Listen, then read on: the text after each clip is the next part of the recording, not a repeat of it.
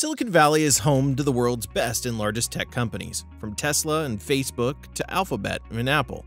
These companies all have their headquarters in Silicon Valley, with some even building entire villages and campuses to house their employees. With more than 2,000 tech companies in the region, every startup is looking to have a slice of Silicon Valley as well. But how did the city become the world's leading tech hub? You'll be shocked to discover how Silicon Valley really started. Ready? Let's dive into it. The invention that started Silicon Valley. In what could be quite shocking to everyone hearing this for the first time, Silicon Valley wasn't always known as Silicon Valley. It was actually the Santa Clara Valley, which was popular for strictly agricultural products. Santa Clara Valley was the prune capital of America, with residents growing, canning, and harvesting thousands of fruits monthly. The golden fruit here was apricots, and Leland Stanford had a vision that Palo Alto would be blooming with almost all the flowers of the earth. He was confident that this region would send fruits all over the globe in exchange for wealth. Santa Clara Valley did become famous for a major product, but it was not apricots. The turning point for the valley was the Second World War, which had a great effect on California and the Pacific West. This brought a lot of military establishments into the San Francisco Bay Area and all around the West Coast. It didn't end even after the war, and military activity continued with the Cold War. However, in the middle of all this, Stanford University came to life in the 1890s. This university wasn't established like most colleges of the Ivy League to educate lawyers and clergymen. Instead, it had always tilted towards the sciences and engineering.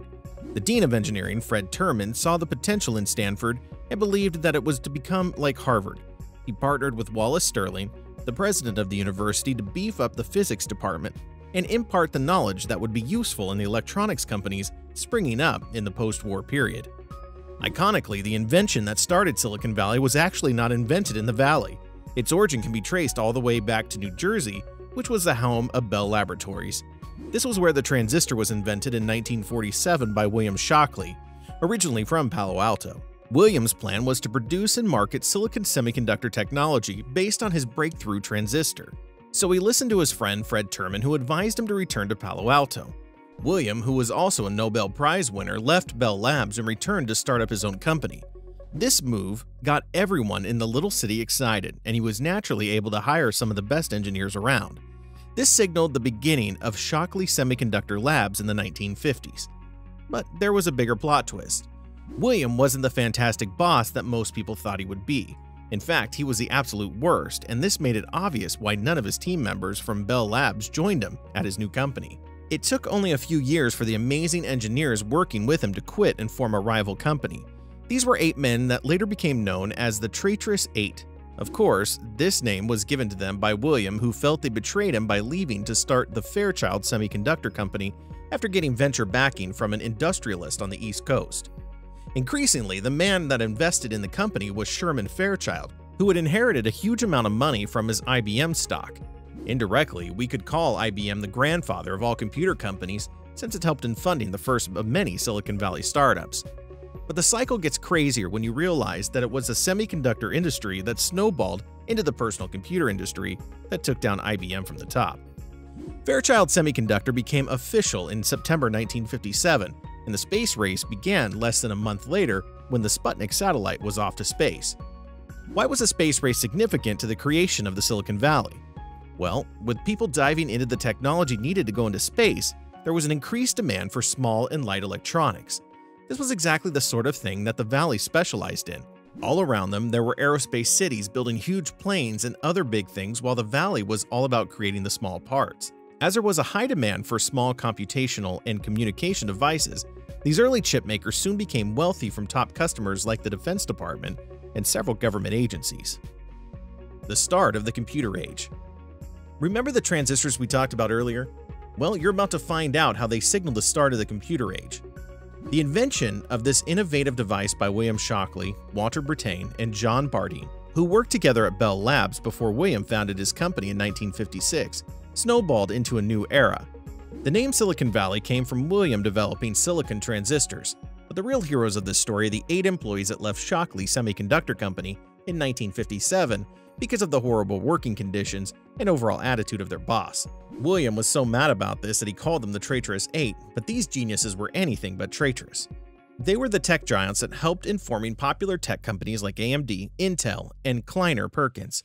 formerly known as Kleiner Perkins Caufield and Byers. This American venture capital firm, with its headquarters in Menlo Park in Silicon Valley, helped bring a lot of tech powerhouses to life, including Amazon, Twitter, and EA. As silicon transistors were the gold of that era, several computer companies were springing up to use this in their gadgets. Several couldn't stand the test of time. But from here emerged companies that evolved into massive conglomerates. This was the beginning of the amazing stories of tech giants like Apple, Oracle, PayPal, and even Tesla. Steve Jobs and Steve Wozniak founded Apple Computers in 1976, and just a year later released the Apple II. This computer was such a huge success that it led to the creation of another amazing products like the Macintosh. From being barely worth $1,000, Apple is one of the most valuable companies in the world, with an estimated worth running into the trillions of dollars. Software Development Laboratories, which was co-founded by Larry Ellison, Bob Miner, and Ed Oates in 1977, started a journey that would change the world of software forever. This led to the birth of Oracle, with Larry Ellison currently worth more than $100 billion. The 1990s was a period when Silicon Valley finally evolved to become the hub of the computer industry with the creation of companies like Yahoo, PayPal, and eBay. And then came the biggest of them all, Google. When Sergey Brin and Larry Page registered Google.com in 1997, it was nothing but a little company growing in popularity. However, an angel investor brought $100,000 in funding a year later, and today, we have a brand that pretty much controls the tech world. Almost everything you have to do online starts from Google. Of course, both founders are massively rich with a net worth of more than $100 billion, respectively. Google, which is a subsidiary of the Alphabet company, has a market cap of almost $2 trillion. These are all massive figures, which show how valuable tech companies in Silicon Valley are today. Over the years, Silicon Valley has continued to expand and welcome new companies like Uber, Tesla, Facebook, and Twitter. Mark Zuckerberg had $500,000 in funding per Peter Thiel to put into Facebook, and this company has come a long way since 2004. This social media platform is the most popular in the world, and the founder is swimming in billions of dollars. This is also similar to the story of Tesla, which was founded in 2003 by tech entrepreneurs Martin Eberhard and Marc Tarpenning. Elon Musk would put some funds into the company, become the chairman, and pretty much set himself up to be the big leagues for life. Many other regions have tried to replicate Silicon Valley without any success. What is really so special about this city? The truth is, Silicon Valley is a product of several decades of tech generations building progressively from one generation to the next. It is a product of time, and this magic will only be unique to Silicon Valley.